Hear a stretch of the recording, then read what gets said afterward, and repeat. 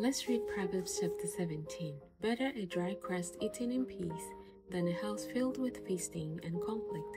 A wise servant will rule over the master's disgraceful son and will share the inheritance of the master's children.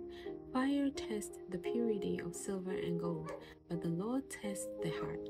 Wrongdoers eagerly listen to gossip. Liars pay close attention to slander. Those who mock the poor insult their maker.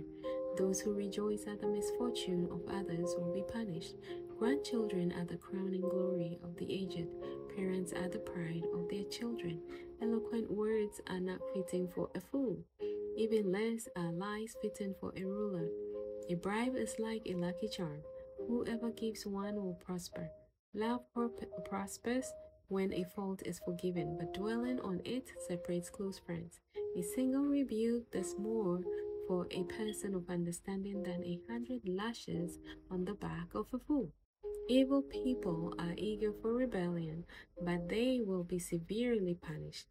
It is safer to meet a bear robbed of her cubs than to confront a fool caught in foolishness.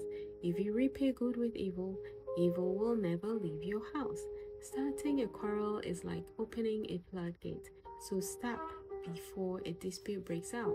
Acquitting the guilty and condemning the innocent both are detestable to the Lord. It is senseless to pay to educate a fool, since he has no heart for learning.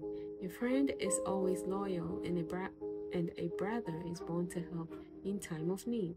It's poor judgment to guarantee another person's debt or put a security for a friend.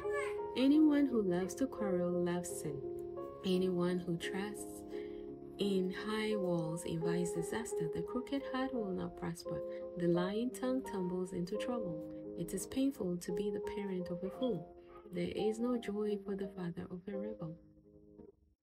A cheerful heart is good medicine, but a broken spirit saps a person's strength. The wicked take secret bribes to pervert the course of justice. Sensible people keep their eyes glued on wisdom, but a fool's eye wander to the ends of the earth. Foolish children bring grief to their father and bitterness to the one who gave them birth. It is wrong to punish the godly for being good or to flog leaders for being honest. A truly wise person uses few words. A person with understanding is even tempered. Even fools are thought wise when they keep silent, with their mouths shut, they seem intelligent, and so the less said, the better. He who keeps their mouth keeps their head. Thank you for watching. I gotta run. You probably can hear my baby. Have a great day and thanks for watching. I really appreciate you. May God be with you. May God bless you in everything you do. Amen. Amen.